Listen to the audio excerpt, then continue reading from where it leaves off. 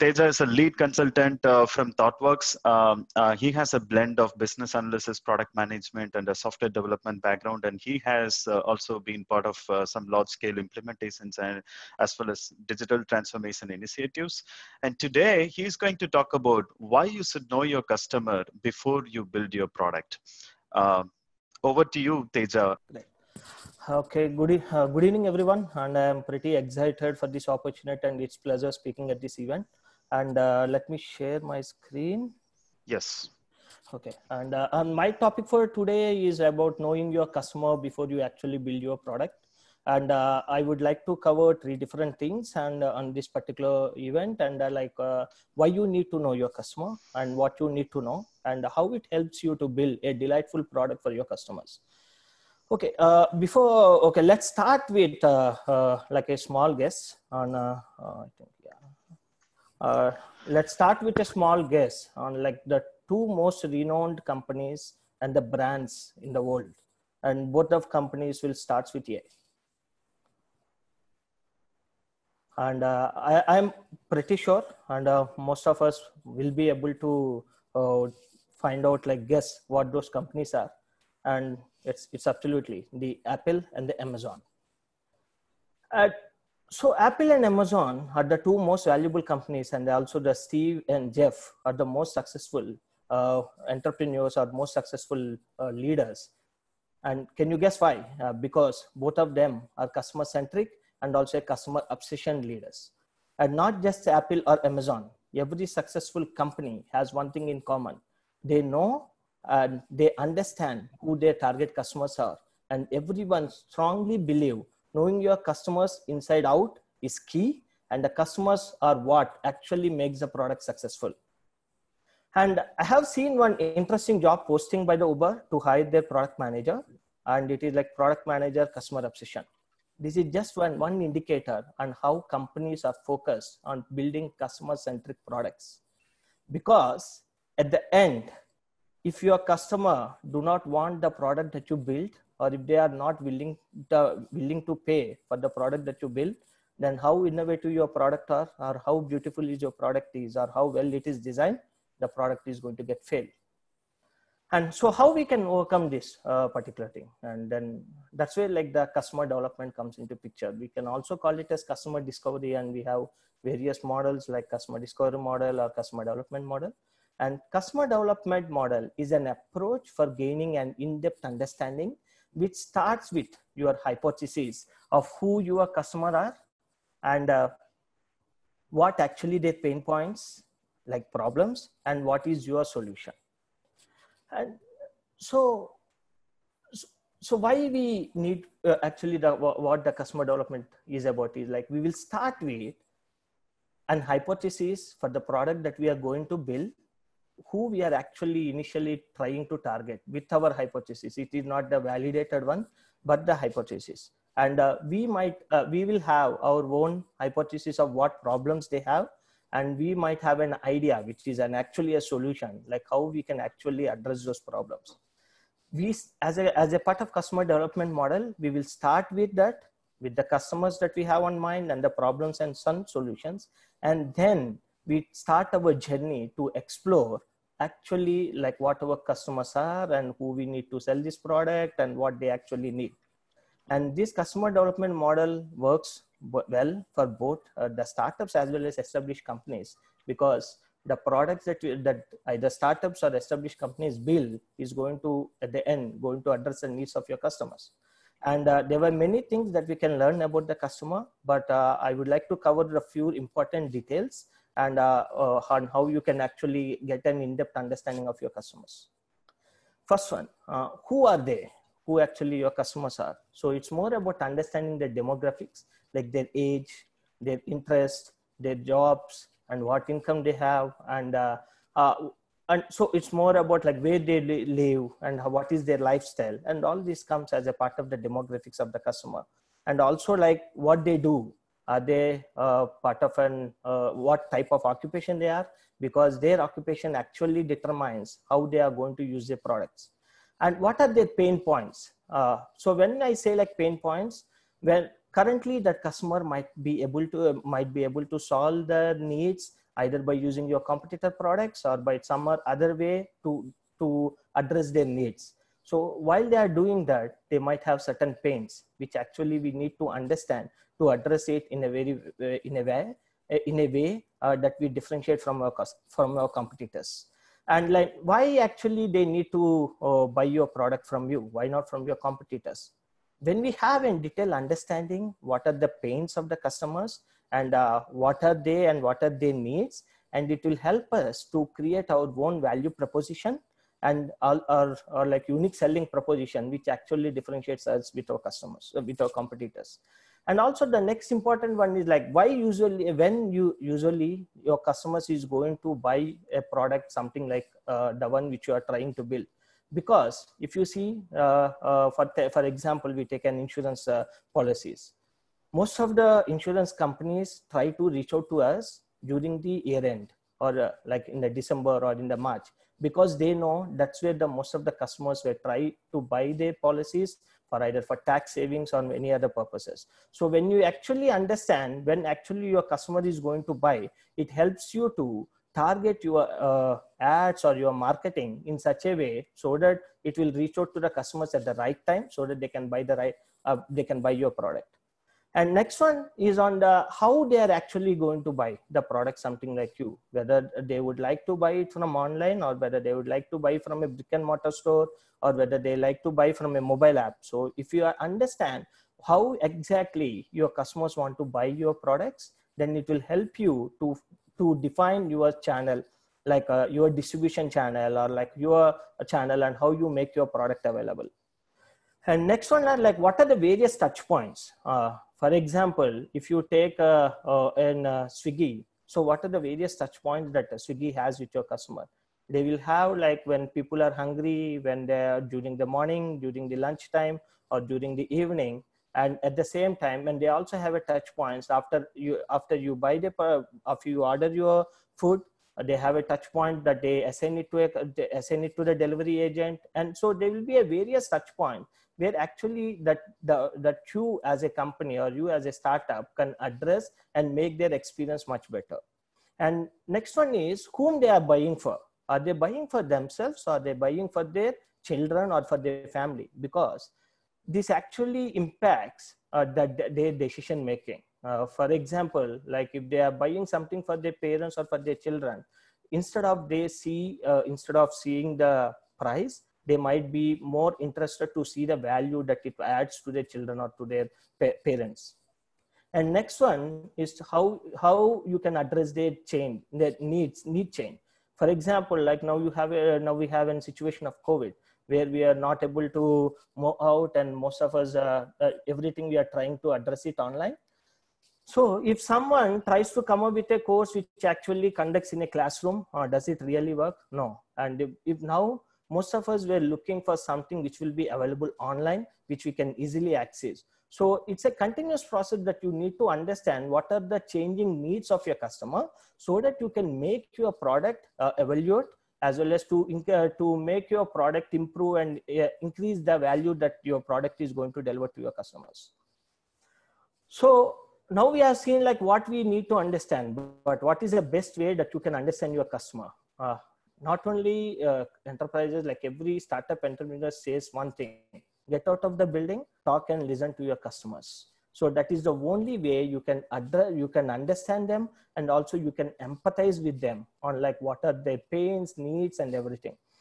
So oh, let's see like uh, uh, uh, what are the some of the tools that can help us uh, to go and talk to our customers. And one more thing is like this particular thing when it comes to b2b it is also important uh, to understand your customers because your stakeholders might having a different requirement and when they actually tells you what they want you might have visualized it in a different way.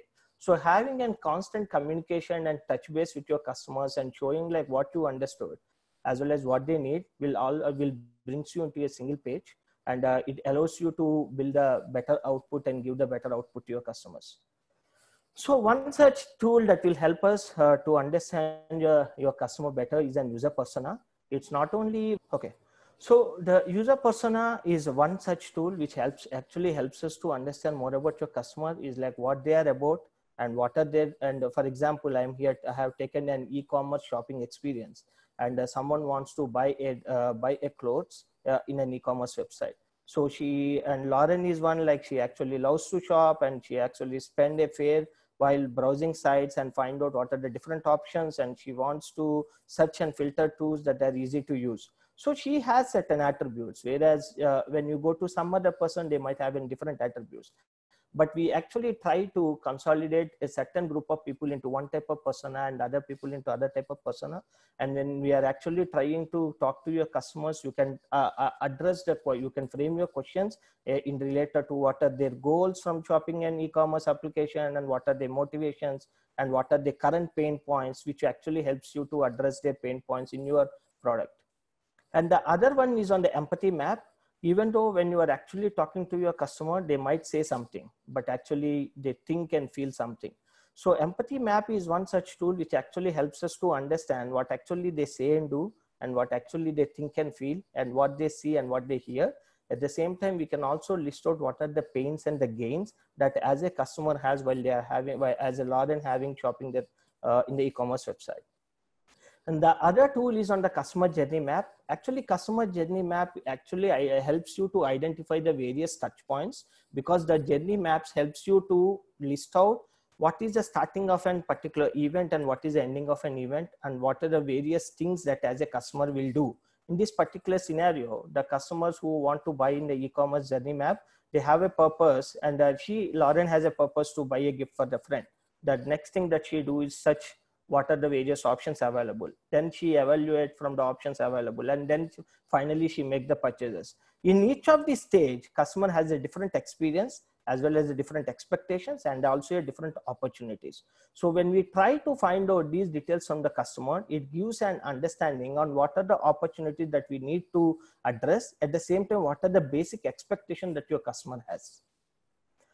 And customer discovery is actually an iterative is actually an iterative process. Uh, you just don't stop while you're actually building the product. You are also actually do the customer discovery. Once you build your solution to validate from them as well as while they are actually using the solution and it's a continuous process uh, uh, we, to to our to find out the evolving needs of your customers and as well as new uh, existing as well as new customers. And also we we pivot this particular customer discovery process to different types of customers. Like for example uh, like here we have seen lauren but there might be a, she's an employee but the needs and the pains are different for the college student.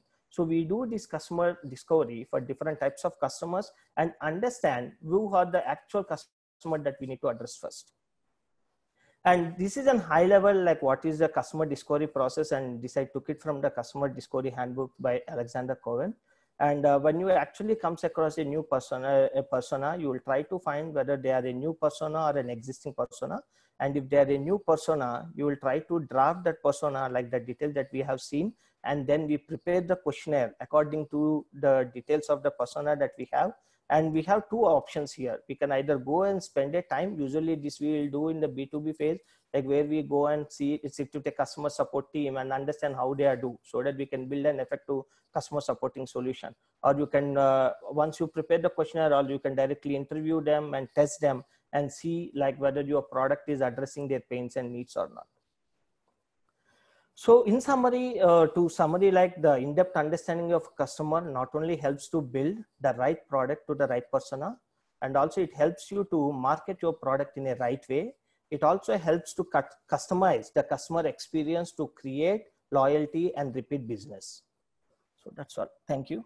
And uh, I have certain uh, uh like uh, resources which I have used as well as you can uh, go through to do more better customer discovery.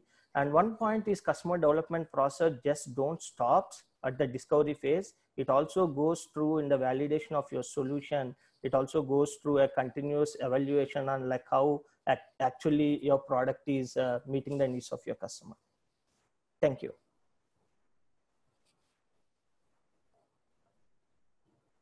Well, thank you, Teja. I think um, that's a pretty uh, prescriptive way of doing customer discovery. Um, I think there are some questions that are uh, coming in, and maybe I'll just uh, bring them out. Sure. And uh, so, uh, one of the questions that I see uh, Nahush asks. Uh, so the next, uh, the, the question Nahush asks is, uh, Teja, when do you know Mhm. enough about your customer? so when uh, uh, when we know enough about your customer is like see when you start doing the customer discovery because as we said we have an hypothesis of who all the personas that we need to address. When you actually start doing the customer discovery and uh, for suppose you have did a customer discovery for 30 people or 50 people and you have seen that you have not receiving any new pains or the new needs or the new different uh, new requirements then it, it, a type of indication that this one particular persona we can start pivot with our product and start uh, they might be our early adopters and can evaluate our product. So uh, are you saying that, uh, in, you know, usually when you don't learn enough yes. from uh, your customer, which means you start getting enough uh, repeated patterns and repeated information is when you would say that uh, you know enough about your customer and hence you, you can make some conclusions about it, right? absolutely yes And, yes. and, and um, another interesting question that I will bring up from Alpa Jain is um, when you have a small customer base, how do you say no to your customer? So, because especially when you are launching a new product and you want early adopter customers and you spend time uh, trying to understand what uh, needs do they have, but then uh, the more number of people that you talk to like that, they might be giving very different um, needs or pain points right? Yeah. so how do you do you as a product manager consider all of those things? Or uh, on, uh, you know if you have to say no what is the basis for saying no? Okay, so for that actually it differ, differs from uh, B2C and B2B scenarios. Usually when we go to B2C scenarios, uh, see that is one challenge that every startup will face during their initial while they are building the product and when they are trying to find some customers, they will get uh, different types of requirements. But one thing is when you are actually decided to pursue a particular idea or want to build a product, you will be preparing your product roadmap or product vision, like what you exactly want to address. Okay. And if your requirement or your thing is falling in line with your product roadmap or the product vision, Mhm. then you will go ahead and you will do it. Otherwise, we will determine like whether uh, what is the impact of that particular requirement, whether it requires a huge change from our system or whether it's a huge effort. Then we see like, and if it is not going to add value to most of our most of our customers, then we will say no. But when it comes to B2B scenario, uh, it's more on the driven based on the metrics that we receive because in b2b scenario when one of our stakeholder has come up with a different with different stakeholders are coming with with a different requirements then we actually see what is the business value that particular requirement is going to address. Is it because every organization has an objectives they have short term and long term objectives. For example if there was an uh, uh, objective for increasing a revenue by 5 million dollars in next 2 years and if you one of your stakeholder is coming up with a requirement which actually not directly impacting the objective of your uh, objective of the company then ideally it goes with a low priority. And we will try to explain like why it needs to go low priority. And if you do not have any other uh, requirements we might take it up but not a, a thing so uh, in uh, and also we try to understand like uh, who actually is going to get impacted if that particular requirement was not taken up. Is Hmm. it the customer is going to impact or is it your operations team is going to impact or is your front uh, front office team is going to impact? So it also determines uh, who uh, the impact of different types of personas that we have. And if it is directly impacting your customer then it will have surely it will have a priority. But if it is something in your operations team which you can handle manually or which we can have it uh, different uh, uh, workaround then we will take it into a back step So, so if I were to summarize what you said, focus on creating the customer value Yes. and focus on maximizing that value. Many different people may have many different questions and requirements and needs, Yes. but try to pick the ones that will address or create value for maximum number of customers. yes Is that a fair uh, summary of what you said? yeah said? it's a fair summary and thing is like no the complexity actually la- it will be less complex when it is a b2b because we have a set of objectives at company level which we can tie up and say why we are going with an another requirement not with this particular requirement but when you Mhm. actually go with a b2c it is very hard because uh, one on the one side you need to acquire your customers. On the other side that particular requirement will actually changing the part of your uh, the many of other customers that we are having. So we'll take that priority a bit complex in b2c scenario. Uh, that's good. That's uh, that's a nice summary. Uh, so before you go teja I, you know i i gather that you uh, are running a podcast now. And Yes. do you want to inform about that to the audience so that they can actually you know subscribe to that podcast and listen to the interviews that you are doing. This is absolutely. a good time yeah that, that. that is a wonderful opportunity. Uh, actually myself along with shreyas we have started a podcast called entrepreneurial minds. It is available in all the almost all the podcast uh, platforms. And uh, we have actually released our first episode and we are about to release our second episode in the next coming week. And Mm. this podcast is actually focused on uh, sharing the experiences of successful enter- entrepreneurs or the successful people in the established organization and how the students or the aspiring entrepreneurs uh, uh, have, who have an idea but don't know how to do or what are the challenges. And uh, so this particular podcast is more focused on sharing the experiences for the aspiring entrepreneurs as well as uh, the uh, young entrepreneurs. And the name is entrepreneurial minds and uh, uh, and, and where can people subscribe to that? Any podcast app it's available? Yes currently we are into like a google podcast castbox we are into anchor and uh, uh, other other platforms awesome available. awesome. So so a simple way to say say is wherever you get your podcast we are available. Yes. Okay very good. Uh, excellent. And thank you for And, that uh, very useful insightful session. And by the way i see several questions on customer discovery and um, um, the steps now what i want to encourage all of you is tonight's session 8 to 9 p.m is from ash maurya the man who created prescriptive way of customer discovery. So don't forget to join his session. He's going to be much more uh, hands-on and prescriptive on it. So again thanks a lot uh, teja and Thank all you. the best. And thank you so much for uh, uh, talking about my podcast also. Thanks yeah, welcome. And it I will mean, be very anything, helpful anything that we can help the community is uh, what we should be doing and i see Muthu back online over to you Yes, sir. muthu thank you Hey, th- thank you, Sai. Thank you, Teja. Hey, Teja, uh, as we just mentioned, right? So it's it's all it's all for the community, right? So uh, and the this event is all focused on uh, the community, all just like you. Uh, the it's always interesting what the community brings in, um, uh, right? And all the goodness that we can share with each other as we as we go through this journey. Uh, thank you again.